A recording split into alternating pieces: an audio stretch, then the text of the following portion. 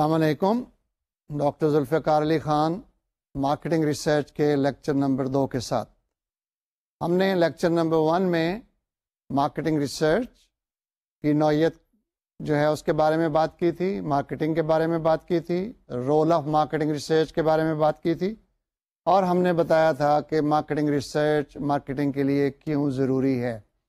इसका supportive role है और हम मार्केटिंग, बगैर मार्केटिंग रिसर्च के नहीं कर सकते, क्योंकि मार्केटिंग का मतलब है कि कंज्यूमर की नीड्स और वांट्स को पूरा करना, उनकी सेटिस्फेक्शन करना, और जब तक हम ये मालूम न करें कि कंज्यूमर की नीड्स और वांट्स क्या हैं, उस वक्त तक हम उनको सेटिस्फाई नहीं कर सकते, और ये मार्केटिंग रिसर्च ही हमें बताती है। फिर हमने ये मालूम किया कि मार्केटिंग रिसर्च जो है वो उसके मुख्तलिफ़ जो स्टेप्स हैं वो क्या हैं? फिर हमने ये देखा कि मार्केटिंग रिसर्च जो है, अब हम एक इंडस्ट्री की शक्ल अख्तियार करती जा रही है। और इसमें बहुत सारी कंपनीज़ आ गई हैं और हम बतौर मार्केटिंग मैनेजर चाहें तो हम इंटरनली अपना एक डिपार्टमेंट कायम कर लें, या हम बाहर किसी कंपनी से रिक्वेस्ट करें कि वो हमारे मसले का हल यानी कि मार्केटिंग रिसर्च के ज़रिए से हमें पूरा कर दे। तो जब हम marketing company marketing research company select करते हैं तो किस तरह से करते हैं, ये भी एक मरहला है। ये एक बड़ा लंबा प्रोसेस है जो हम फिर बाद में बताएँगे आपको कि किस तरह से हम इसकी सिलेक्शन करते हैं। लेकिन इस वक्त मैं आपको ये बताऊँगा कि जब कभी भी आपको मार्केटिंग रिसर्च बाहर से करवानी है I mean, you have to select an external marketing research supplier, then what you have to look into in order to finalize the selection. Uh, जब आप अखबार में इश्तहार देंगे कि हमें जो है वो अपनी मार्केटिंग रिसर्च करवानी है तो बहुत सारी कंपनियाँ आएँगी अपना इंटरेस्ट शो करेंगी और रिसर्च प्रपोज़ल आपको देंगी और हमने उनको एवेल्यूएट करना है इवेल्यूएट करने के बाद चंद चीज़ें जो हम देखते हैं कि इस कंपनी में क्या मौजूद है, क्योंकि हम मुख्तलिफ़ कंपनियों का डेटा लेकर फिर उनका हम कंपेरेटिव इवेल्यूएशन करते हैं और इवेल्यूएशन के बाद हम फाइनलाइज करते हैं कि इस कंपनी को हम ये मार्केटिंग रिसर्च का टास्क देंगे। तो क्या हम देखते हैं, वो कंपनी अपना एक बायोडाटा भेजती है और वो प्रपोज़ल भी भेजती है, हम उसमें से क्या चीज़ें देखते हैं, वो मैं आपको बताता हूँ। सबसे पहले हम रेपुटेशन देखते हैं कि उस कंपनी की as marketing research company market में क्या रेपुटेशन है। किस तरह के उसने प्रोजेक्ट किए हैं, कितने प्रोजेक्ट किए हैं, किस क्वालिटी के प्रोजेक्ट किए हैं, उसने जो प्रोजेक्ट कमिट किए थे, क्या वो स्केजुअल पर पूरे किए हैं कि नहीं किए ये तो नहीं है कि कहीं दो महीने में ये प्रोजेक्ट मुकम्मल कर दूँगी और कंपनी ने उसे चार महीने लगा दी हूँ। और आपका बहुत सारा नुकसान हो गया हो। तो ये चीज़ें हम देखते हैं। फिर हम ये भी देखते हैं कि जो हम प्रोजेक्ट उनको दे रहे हैं, भले वो हमारा प्रोजेक्ट प्राइसिंग के बारे में हो या प्रोडक्ट के बारे में हो या फिजिबिलिटी हो या एडवर्टाइजिंग रिसर्च हो, जिस किस्म की रिसर्च हम दे रहे हैं, हम ये भी देखते हैं उस कंपनी के बायोडाटा से कि क्या उसने इस किस्म के प्रोजेक्ट किए हैं कि नहीं किए क्योंकि हो सकता है कि ऐसे प्रोजेक्ट जो आप दे रहे हैं, उसने पहले ऐसा कोई प्रोजेक्ट ना किया हो उससे बेहतर वो कंपनी होगी जिसने इस किस्म का प्रोजेक्ट पहले किया होगा। फिर एक बहुत इंपॉर्टेंट जो एस्पेक्ट हम कंपनी की एवेल्यूशन में करते हैं, वो है उसके पर्सनल उसके लोग, उसके ह्यूमन रिसोर्सेज अब कंपनी के ह्यूमन रिसोर्सेज में टेक्निकल और नॉन टेक्निकल दोनों किस्म के ह्यूमन रिसोर्सेज या पर्सनल को एवेल्यूएट किया जाता है।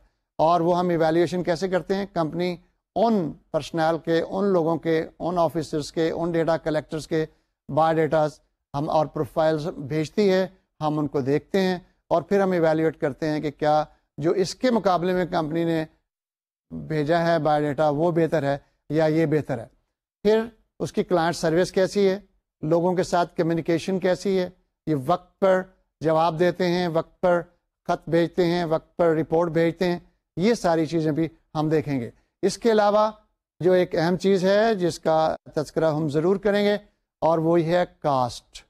कास्ट के बेसिस पर हम डिसाइड करते हैं, cost is a critical factor cost and quality both और क्रिटिकल फैक्टर्स हमने काम करवाना है अच्छा काम करवाना है, और थोड़े पैसों पे करवाना है। तो कंपनीज़ जो हैं, वो अपनी बिड भी साथ बेचती हैं। उसको कहते हैं कॉस्ट प्रपोजल और फिनेंशियल प्रपोजल तो फिनेंशियल प्रपोजल भी हम कंपेयर करते हैं कि हमें ये कितने पैसे लगेंगे? आठ लाख लगेंगे, सात लाख लगेंगे, चार लाख लगेंगे। उनको भी हम कंपेयर करते हैं कि कंपेरेटिवली इसकी जो फिनेंशियल प्रपोजल है या कॉस्ट जो इसने कोट की है, वो कितनी है? ये लेकिन एक बात याद रहे कि सस्ती कंपनी हमेशा अच्छी नहीं होती। जो कॉस्ट कम कोट करे, ज़रूरी नहीं है कि वो अच्छी कंपनी हो। हमेशा क्वालिटी और कॉस्ट दोनों को जो है वो कंपेयर करना चाहिए तो इस तरह से ये चंद एक चीज़ें हैं जैसे मैंने कहा reputation projects, quality of projects, completion of uh, projects on uh, schedule, then uh, similar projects, cost, personnel, technical personnel, non-technical personnel, uh, comparison of quality and cost. इन सारे फैक्टर्स को मद्देनजर रखते हुए हम फिर फाइनलाइज कर लेते हैं कि हम अपना प्रोजेक्ट कंपनी ए को देंगे, कंपनी बी को देंगे या कंपनी सी को देंगे। अब इसके बाद हम एक नया टॉपिक लेते हैं कि सक्सेसफुल मार्केटिंग रिसर्च क्या होती है। अब हम पढ़ चुके हैं कि मार्केटिंग रिसर्च क्यों की जाती है? बुनियादी तौर पर ये मार्केटिंग मैनेजर और दूसरे मैनेजर्स को उनके डिसीज़न में सपोर्ट सिस्टम के तौर पर होती है। उनके डिसीज़न को फैसिलिटेट करती है उनके डिसीज़न को इम्प्रूव करती है तो तीन खसूसियात हैं सक्सेसफुल मार्केटिंग रिसर्च की Number one, it should be relevant. Number two, it should be efficient. Number three, it should be timely. और चौथी अगर कोई खसूसियत है तो वो है इट शुड बी एक्यूरेट तो let me repeat it relevant efficient timely and accurate अब रेलेवेंट रिसर्च क्या होती है? रेलेवेंट रिसर्च ये होती है कि जो आप प्रॉब्लम सॉल्व करना चाहते हैं रिसर्च उससे मुतलका हो। Research is not just to satisfy the curiosity आपके तजस्स को पूरा करने के लिए नहीं है। बिज़नेस में ऐसा नहीं है। साइंस में शायद ऐसा हो कि साइंसदानों को कोई तजस्स था और उन्होंने रिसर्च की और उसका जवाब ढूंढा। हमारे यहाँ मार्केटिंग में ऐसा नहीं होता। हम एक स्पेसिफिक मार्केटिंग प्रॉब्लम को सॉल्व करना चाहते हैं। हम कोई एक्शन लेना चाहते हैं। हम कोई डिसीज़न करना चाहते हैं और उस डिसीज़न में ये रिसर्च जो है हमें इनपुट के तौर पर डेटा प्रोवाइड करेगी और हमारा डिसीज़न जो है बेहतर होगी। तो इसलिए रिसर्च जो है वो रेलेवेंट हो और उसी टॉपिक के बारे में हो। जैसे मैं पहले कह चुका हूँ, अगर आप कोई नई प्रोडक्ट डेवलप कर रहे हैं तो फिर आप उसी से मुतल रिसर्च करेंगे। अगर आप प्राइस चेंज करना चाह रहे हैं तो उसी से मुतल आप रिसर्च करेंगे। और अगर आप एडवर्टीजमेंट के बारे में कर रहे हैं प्रमोशन के बारे में कर रहे हैं चैनल के बारे में कर रहे हैं उसी से मुतल रिसर्च होगी। इसको कहते हैं रेलेवेंस इसके बाद है एफिशिएंसी अब एफिशिएंसी इकोनॉमिक्स में भी और मार्केटिंग में भी क्या होती है कि आउटपुट जो है वो इनपुट से ज़्यादा हो। बल्कि मैं यूँ कहूँगा कि इनपुट और आउटपुट की रेशियो जो है वो बड़ी फेवरेबल हो। अब अगर आपकी रिसर्च जो है उस पर मिसाल के तौर पर पाँच लाख रुपया खर्च आता है और जिस रिस्क को आप बचा रहे हैं, जिस खतरे से आप डिसीज़न को बेहतर कर रहे हैं, जिससे आपको खतरा है कि अगर हमने रिसर्च नहीं की तो ये हमारा जो है, ये इन्वेस्टमेंट डूब जाएगा। वो इन्वेस्टमेंट ही अगर पाँच लाख की है तो ये रिसर्च एफिशिएंट नहीं है। There is no wisdom to do this research क्योंकि पाँच लाख को बचाने के लिए आप आठ लाख लगा रहे हैं। ये कोई विजडम नहीं है। ये रिसर्च एफिशिएंट नहीं है। It means that the cost should be less than the benefits and if the cost outweighs the benefit, then it is not efficient तो रिसर्च उस सूरत में नहीं करनी चाहिए, अगर कॉस्ट उसकी ज़्यादा है। तीसरी बात जो है, अच्छी रिसर्च की जो निशानी है, वो है कि research should be timely marketing decisions जो होते हैं, उनका एक फिक्स्ड शेड्यूल होता है। आपको एक वक्त पर डिसीज़न करना होता है। अगर आप उस वक्त पर नहीं करते तो आप पीछे रह जाते आपको मार्केट में जाना है, आपको compete करना है प्रोडक्ट को मार्केट में लाना है आपको प्रोडक्ट को रिटेलर के पास ले जाना है आपको प्राइस चेंज करनी है और ये सारे जो हैं ये एक वक्त पर होते हैं। इसलिए देर आर डेडलाइंस जिसके लिए कि आपको रिसर्च जो करवानी है वो रिसर्च उस टाइम के अंदर अंदर करनी चाहिए। आ, मिसाल के तौर पर अगर आपको एक प्रोडक्ट लानी है you want to launch it in November Now all the research relating to this product about its formulation about its distribution strategy about its pricing strategy about its packaging that should be completed before November so that you can launch it successfully. And if you don't, then the competitor would do it and you will be lagging behind and that will be a disadvantage on your part. इसलिए research को marketing research को timely भी होना चाहिए। तो तीन चीज़ें हुई रेलेवेंट टाइमली एंड एफिशिएंट चौथी चीज़ जो है, वो एक्यूरेसी है कि आप जो रिसर्च कर रहे हैं, उसका डेटा एक्यूरेट हो। कहा जाता है कि no research is better than the accuracy of its data अगर आप रिसर्च कर रहे हैं, बड़ी खूबसूरत आपने रिसर्च की क्वेश्चनर बनाया फ़ील्ड में गए डेटा कलेक्ट किया लेकिन वो डेटा एक्यूरेट नहीं है। रिपोर्ट भी आपने बड़ी अच्छी बना दी। तो then this research is worth nothing you are just wasting your time दे वो जो बाकी तीन चीज़ें हैं रेलेवेंस टाइमली नेस और uh, जो एफिशिएंसी है उसको एक्यूरेसी से कंप्रोमाइज़ नहीं करना चाहिए। Accuracy of data is important और uh, इसका ख्याल ख़ास रखा जाए।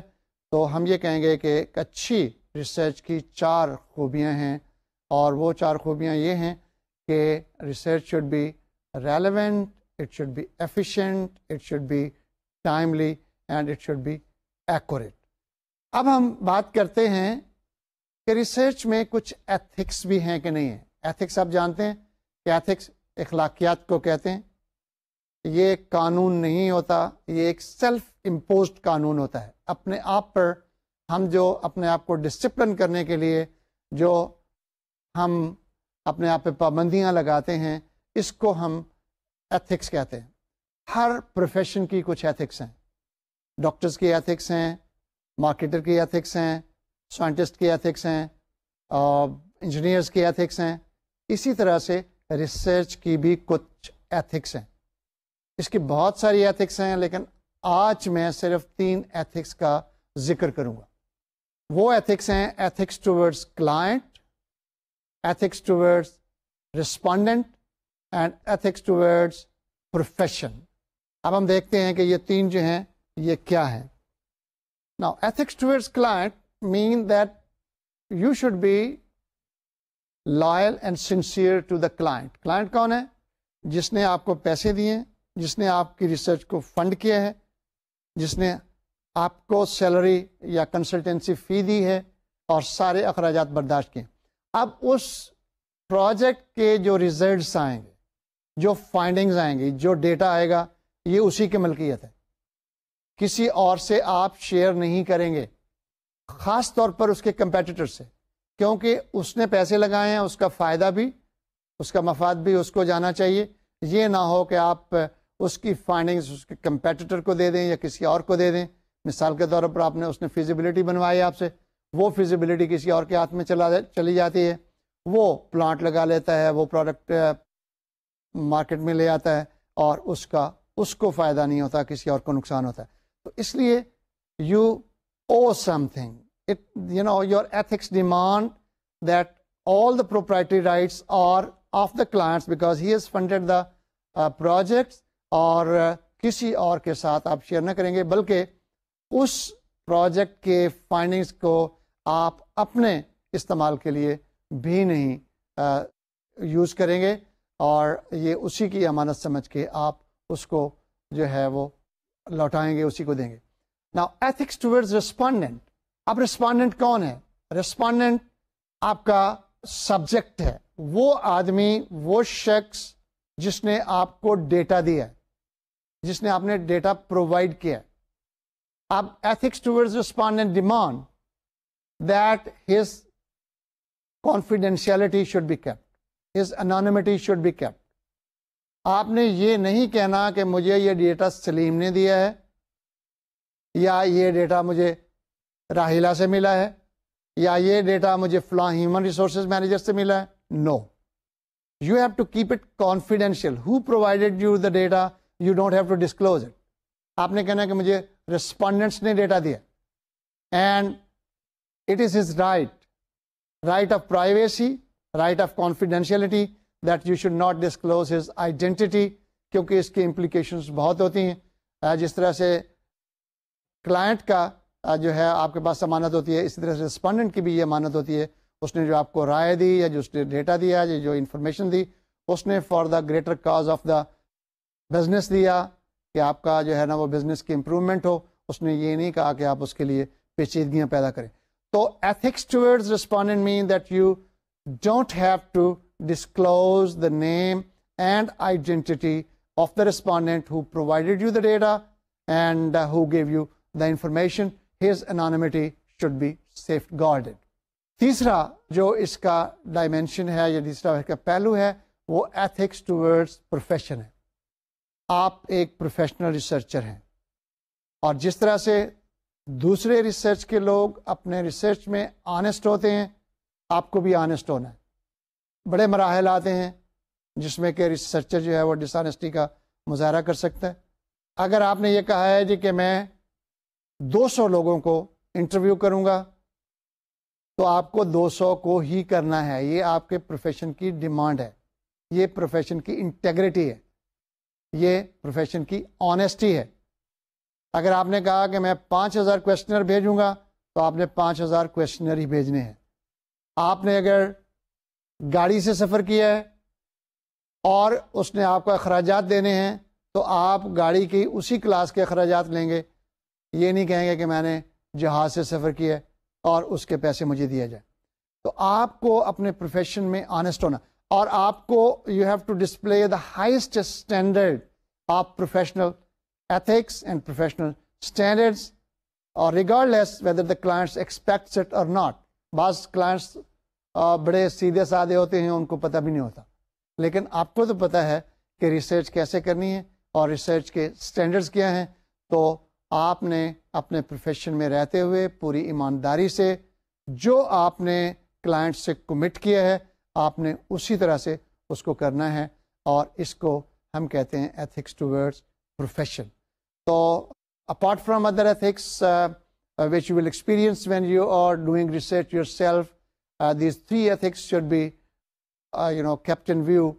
That is ethics towards client, ethics towards respondent, and ethics towards profession. अब इंट्रोडक्शन ख़त्म हुआ। अब हम रिसर्च के प्रोसेस को शुरू करते हैं कि रिसर्च का प्रोसेस क्या है। ये सीरीज़ ऑफ़ स्टेप्स हैं। चंद टास्क हैं जो हम बाज़ात सीक्वेंस में बाज़ात कंकरेंटली उन स्टेप्स को फॉलो करते हुए रिसर्च का प्रोसेस करते हैं। रिसर्च प्रोजेक्ट्स मुख्तलिफ़ हो सकते हैं। इसके बहुत सारे प्रोजेक्ट्स होते हैं, बहुत सारे डिफरेंट नौीयत के प्रोजेक्ट्स होते हैं, लेकिन हर प्रोजेक्ट में कुछ कॉमनलिटीज़ होती हैं। कॉमनलिटीज़ को हम रिसर्च प्रोसेस कहते हैं। जो भी आप रिसर्च प्रोसेस या प्रोजेक्ट आप करेंगे, उसमें से ये जो चीज़ें मैं अब आपको बता रहा हूँ, ये स्टेप्स आपको फॉलो करने हैं। ये स्टेप्स जो हैं, तकरीबन इसी सीक्वेंस में चलते हैं, जिस सीक्वेंस में मैं आपको बताऊँगा। पहला स्टेप ये है कि आप इस्टेब्लिश करें कि मार्केटिंग रिसर्च की ज़रूरत है, फिर रिसर्च प्रॉब्लम को डिफ़ाइन करें, फिर रिसर्च ऑब्जेक्टिव इस्टेब्लिश करें, फिर रिसर्च डिज़ाइन सिलेक्ट करें, फिर टाइप और सोर्सेज ऑफ़ डेटा डिटरमन करें, फिर सैंपल डिटरमन करें साइज़ डिटरमन करें, फिर इंस्ट्रूमेंट बनाएँ, फिर डेटा कलेक्ट करें एनालाइज करें और उसकी रिपोर्ट बनाएँ। ये जल्दी जल्दी मैंने आपको बता दिया। अब मैं इसकी तफसील में आपको बताऊँगा कि हर स्टेप पे क्या क्या आपको करना है। पहला स्टेप जो है, वो है establish the need of the marketing research जब हम रिसर्च प्रोसेस शुरू करते हैं तो पहले हमें उसकी नीड देखना चाहिए। मार्केटिंग रिसर्च हमेशा किसी मैनेजमेंट डायलामा से शुरू होती है। डायलामा का क्या मतलब है? कि मार्केटिंग मैनेजर को कुछ डिसीज़न करना है, और वो सोच रहा है कि ये डिसीज़न करूँ या वो डिसीज़न करूँ is at the cross road and he want some data in order to facilitate his decision तो अगर इस किस्म का रूटीन कोई डिसीज़न उसने लेना है तो फिर उसको डेटा नहीं चाहिए, फिर रिसर्च नहीं चाहिए। और इसलिए सबसे पहले तो मैनेजमेंट को रिक्वेस्ट करनी चाहिए कि जी हमें फलां प्रोजेक्ट के लिए, फलां डिसीज़न के लिए हमें रिसर्च डेटा चाहिए रिसर्च करनी है। यानी there should be a genuine need of the research और ये इस्टेब्लिश कैसे करते हैं आप? मार्केटिंग मैनेजर के साथ आप मीटिंग करके और मार्केटिंग रिसर्च के साथ कॉन्फ्रेंस करके और ना सिर्फ़ एक रिसर्च करके, एक मीटिंग करके, बल्कि कई मीटिंग्स होती हैं जिसमें कि वो आपको एक्सप्लेन करता है।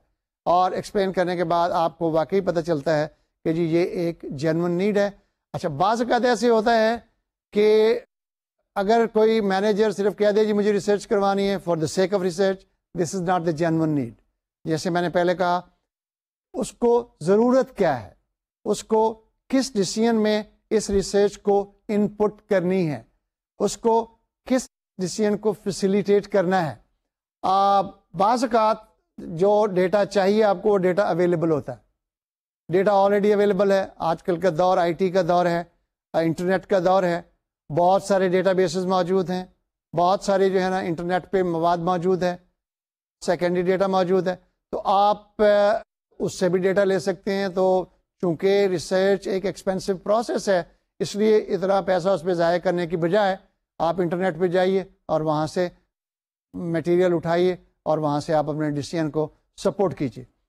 बाज़ बाज़ात ऐसा होता है कि जो ये आप रिसर्च करवा रहे हैं, ये रिसर्च का टाइम आपके पास नहीं होता। लोग कहते हैं टाइम इज़ एनीमी आपने डिसीज़न लेना है एक महीने के अंदर अंदर, जबकि इस प्रोजेक्ट को अगर आप अंडरटेक करेंगे तो इस पर चार महीने लगेंगे। तो इसका कोई फ़ायदा नहीं है। इस सूरत में भी रिसर्च जो है नहीं करनी चाहिए। ये जेनवन नीड नहीं है। इसका कोई फ़ायदा नहीं है। सिमिलरली जैसे मैंने इससे पहले कहा था कि अगर ये रिसर्च एफिशिएंट नहीं है, अगर ये रिसर्च की कॉस्ट जो है बेनिफिट से बहुत ज़्यादा है। आप किसी रिस्क को अवॉइड कर रहे हैं, उस रिस्क की कॉस्ट थोड़ी है, इस जो रिसर्च प्रोजेक्ट की कॉस्ट जो है वो ज़्यादा है, इस सूरत में भी रिसर्च नहीं करनी चाहिए। तो इस तरह से, और बाज़ का डेटा भी अवेलेबल नहीं होता है ऐसी रिसर्च का, बाज़ ऐसा डेटा होता है जो आपको डेटा सोर्सेज का पता ही नहीं होता, और आप रिसर्च करने चल पड़ते हैं तो वो सारा पैसा और वक्त ज़ाय होता है। बाज़ का कंपेटिटर प्रेशर होता है आपने कंपटीशन में आना है, आपने प्रोजेक्ट को अंडरटेक करके अगर आप वो करेंगे तो आपको बहुत देर हो जाएगी। जैसे मैंने पहले कहा टाइम कॉन्स्टेंट है आपकी टाइम डेडलाइन है तो उस सूरत में भी रिसर्च नहीं करनी चाहिए। फैसला बगैर रिसर्च के कर लेना चाहिए। तो इस्टेब्लिश कर ले नीड कि वाकई रिसर्च की ज़रूरत है and research should not be undertaken in the case data is already available और द टाइम इज़ एनिमी और if the cost of the research outweighs the benefit. In such cases, there is no need of research. तो अगला जो step है वो है सारी बात समझकर हम प्रॉब्लम को डिफाइन करते हैं कि रिसर्च प्रॉब्लम क्या है Now, defining or formulation of the problem. Perhaps this is the single most important process, step of the research process. Because everything else depends on this. आप प्रॉब्लम को properly define नहीं करेंगे तो आप इसकी implication जो हैं, वो सैम्पलिंग में हैं डेटा कलेक्शन इंस्ट्रूमेंट्स में हैं डेटा एनालिसिस में हैं तो सब जगह पे आप you will be lacking they some time understand the problem and define the problem properly problem well defined is half solve और इस प्रॉब्लम को अंडरस्टैंड करने के लिए इसको डिफाइन करने के लिए मार्केट रिसर्चर का मार्केट मैनेजर के साथ इंटरेक्शन और क्लोज लाइजान बहुत ज़रूरी है। आ, ये याद रखिए कि मार्केटिंग मैनेजर और मार्केट रिसर्चर दोनों को हैंड इन हैंड चलना है क्योंकि एक दूसरे के लिए वो सपोर्टिव होते हैं।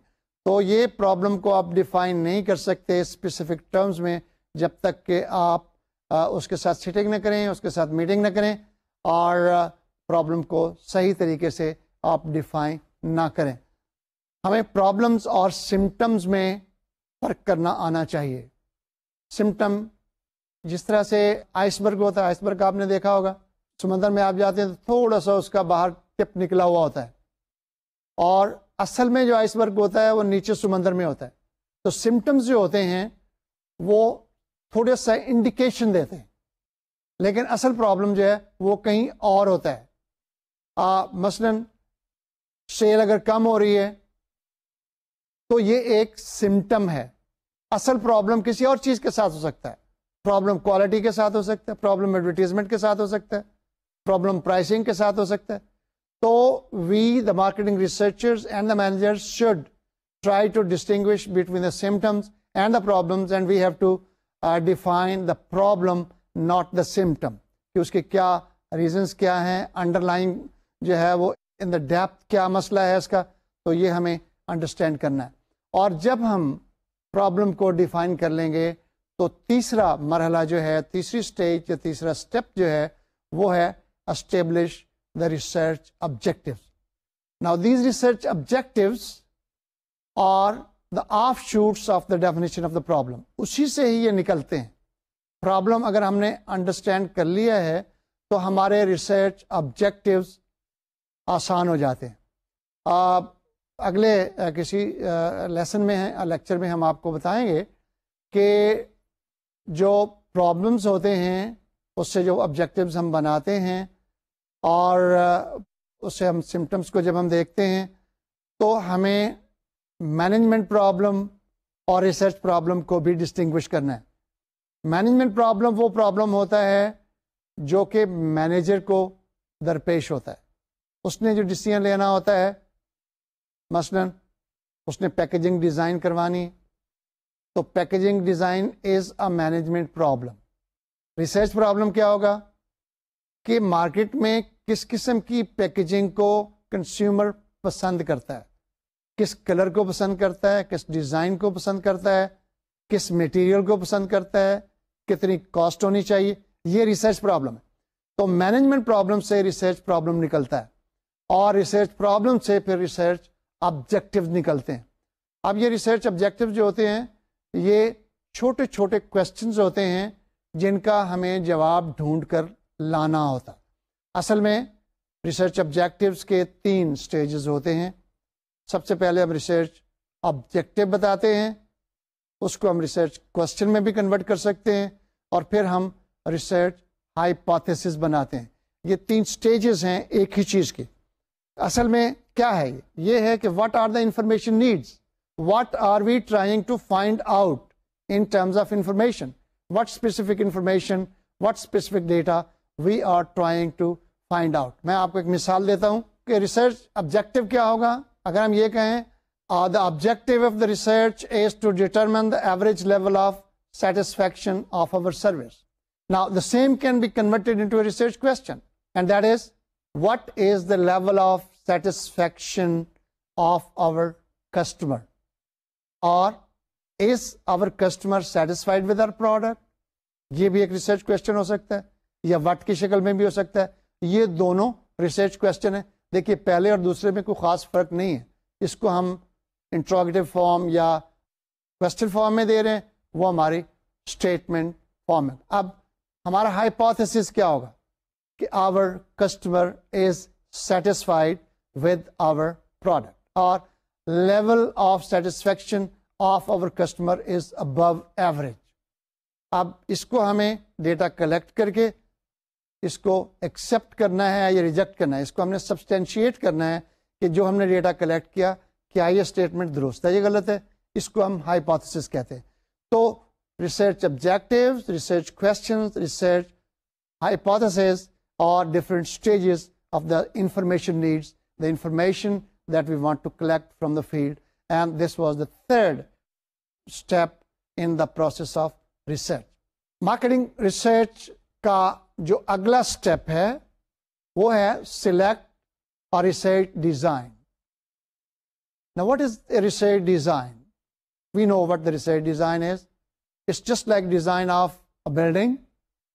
You know, as, as we construct a house, there is an architect design. Architect पहले उसका नक्शा बनाता है और उस नक्शे को फिर अप्रूव करके उस नक्शे के मुताबिक घर बनाया जाता है बिल्डिंग बनाई जाती है इसी तरह से, जब हम रिसर्च करने चाहते हैं तो हम रिसर्च का भी एक डिज़ाइन बनाते हैं, जिसमें कि चंद एक चीज़ों का हम फैसला करते हैं।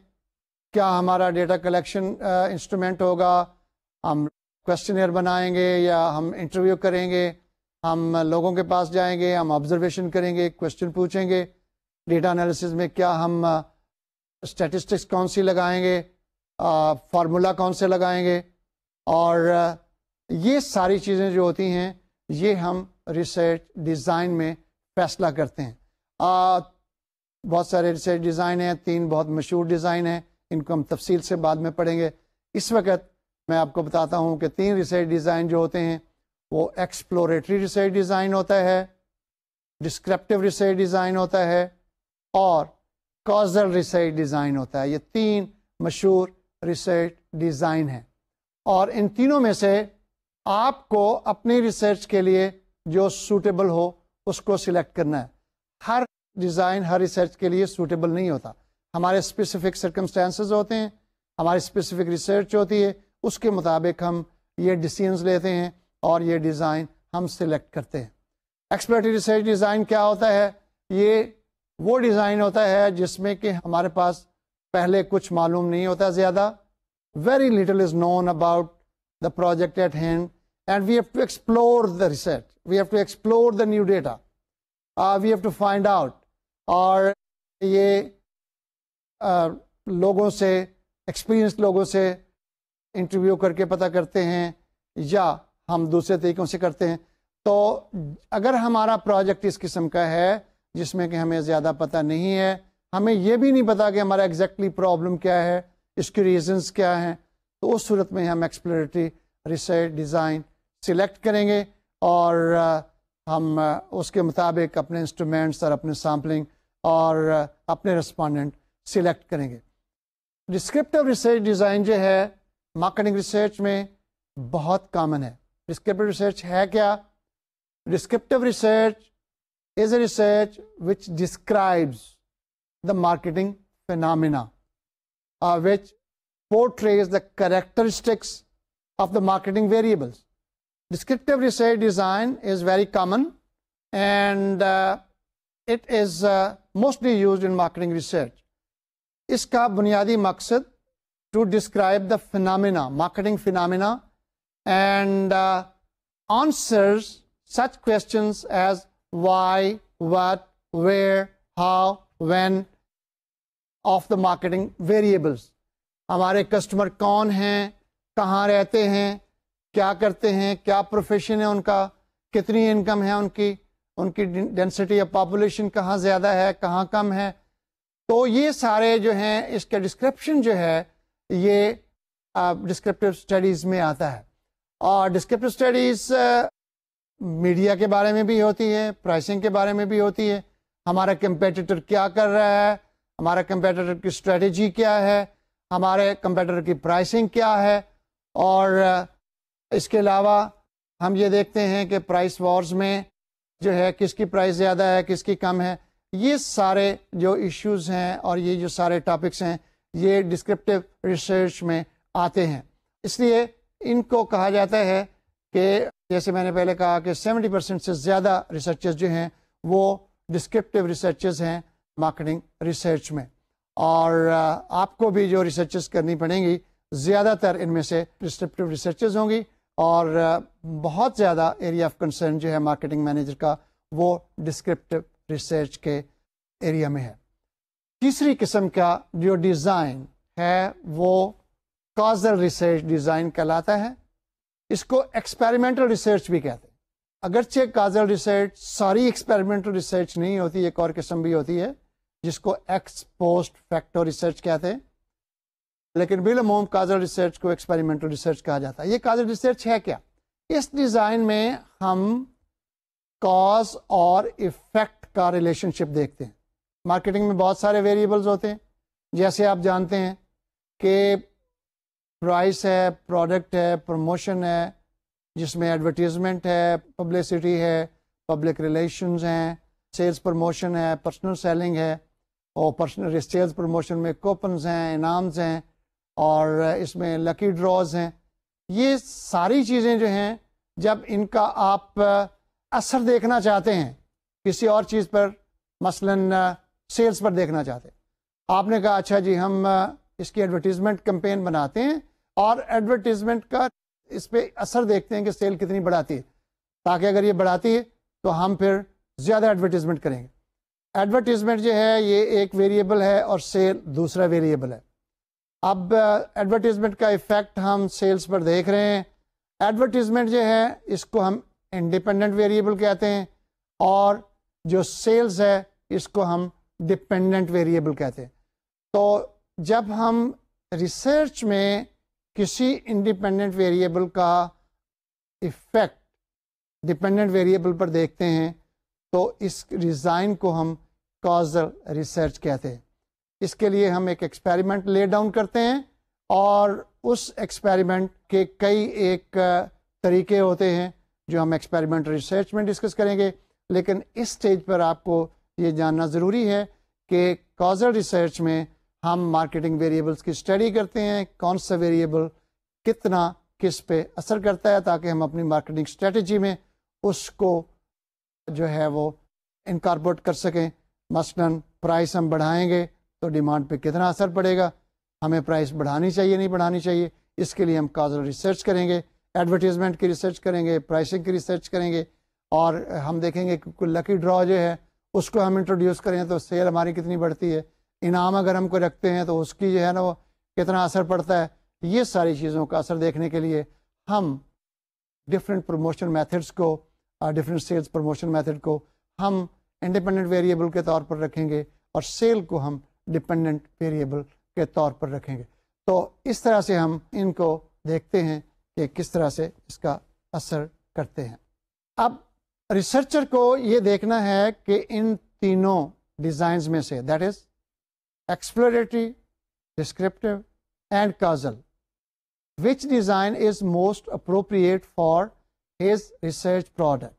His project may require exploratory design, may require descriptive, may require causal. तो जो भी उसके लिए सूटेबल है वो उसको सिलेक्ट करना चाहिए और उसके मुताबिक ही फैसले करने चाहिए ताकि रिसर्च डिज़ाइन को इम्प्लीमेंट किया जा सके एक बात ज़रूरी है बताना आपको कि रिसर्च डिज़ाइन हम क्यों सिलेक्ट करते हैं इससे डिज़ाइन सिलेक्ट करने से हमारा बहुत सारा वक्त बच जाता है जो फैसले हमें हर स्टेज पे लेने होते हैं वो फैसले हम रिसर्च डिज़ाइन को सिलेक्ट करते हुए कर लेते सैंपल क्या लेना है?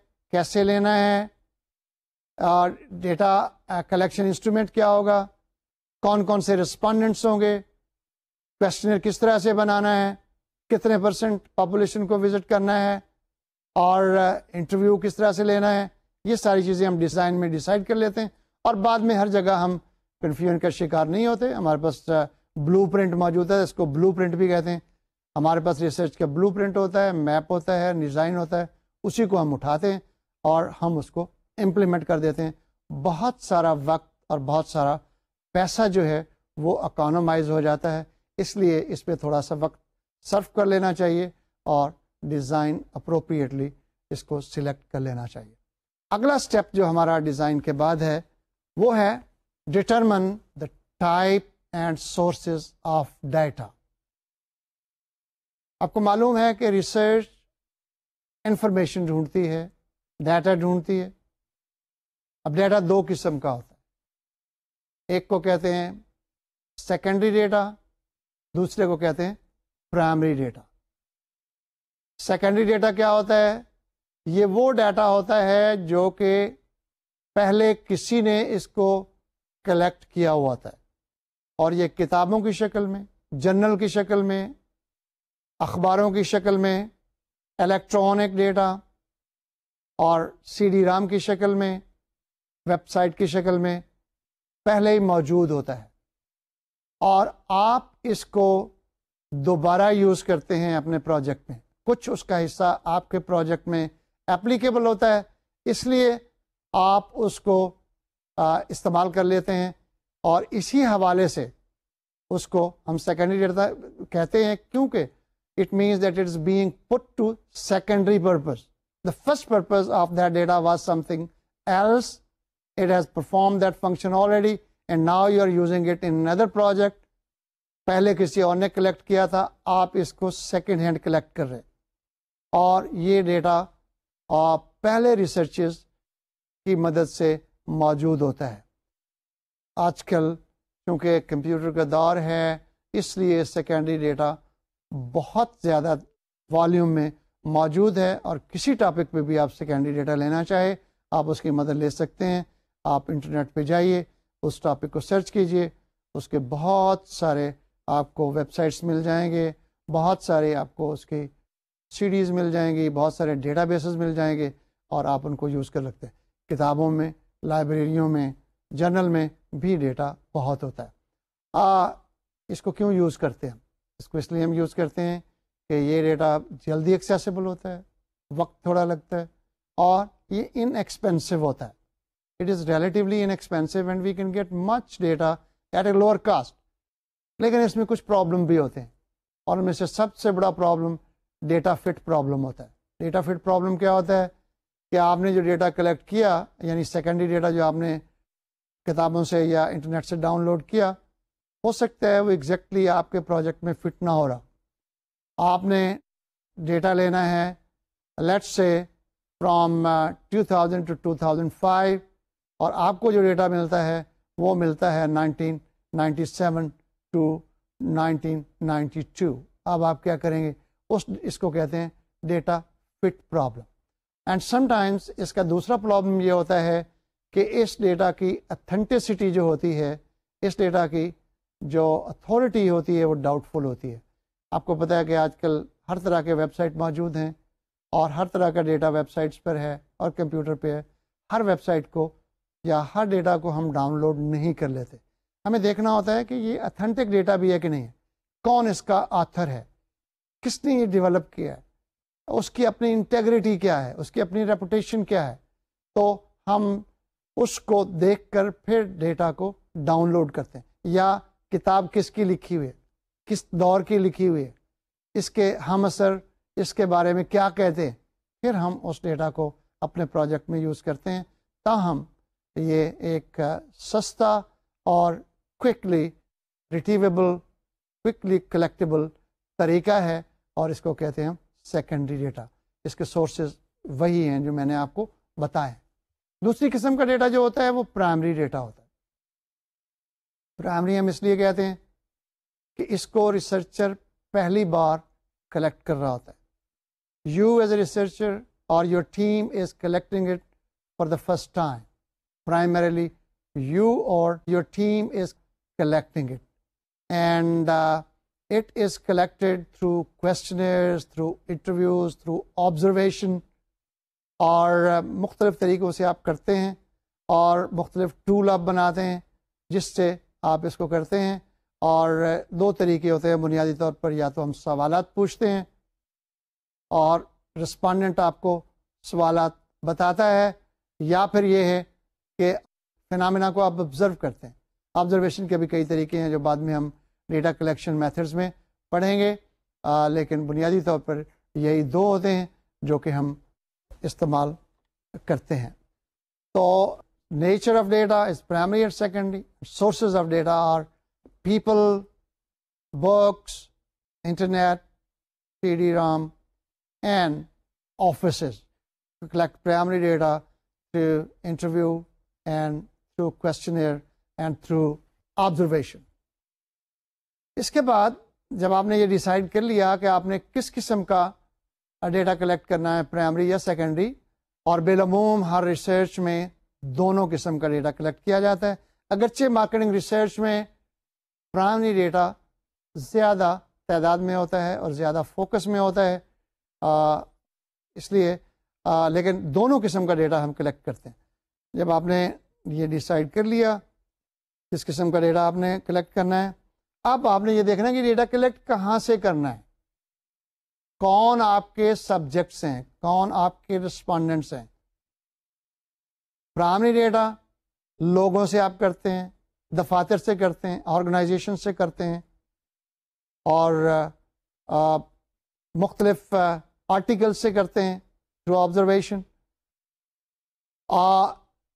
उसके लिए आपको ये डिसाइड करना है कि आपने कितने लोगों या कितने एलिमेंट्स से मिलना है, कितने यूनिट्स से मिलना है।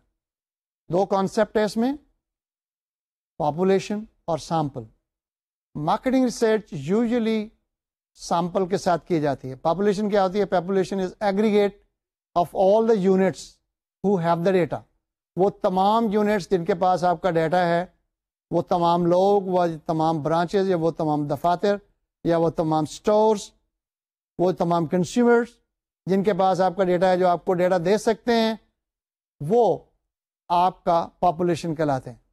उसी में से आप एक सबसेट या कुछ हिस्सा सिलेक्ट करते हैं, जिनको हम सैंपल कहते हैं। सैंपल बहुत ज़रूरी है, क्योंकि पॉपुलेशन आपको पता है, लाखों कंज्यूमर्स होते हैं और कस्टमर्स होते हैं, सबको हम नहीं जाके मिल सकते। इसलिए हमें एक हिस्सा अगर मिल जाए तो हम उनसे डेटा लेंगे और उससे हम अपनी रिसर्च जो है वो अपनी पूरी कर लेंगे। लेकिन याद रखिए, वो हिस्सा या वो सबसेट शुड बी रिप्रेजेंटेटिव जब हम ये रिप्रेजेंटेशन लाना चाहते हैं तो उसके कई तरीके हैं जो हम सैम्पलिंग के लेसन में या लेक्चर में पढ़ेंगे। लेकिन वो जो तरीका होगा, वो आपको सिलेक्ट करना होगा। लेकिन इसके साथ साथ आपको ये भी डिटरमिन करना है कि साइज़ कितना होना चाहिए सैंपल का। अब ज़रूरी नहीं है कि सैंपल बहुत बड़ा हो। लोग कहते हैं जी पाँच हज़ार का सैंपल जो है उससे पाँच सौ का बेहतर है अगर वो रिप्रेजेंटेटिव नहीं है।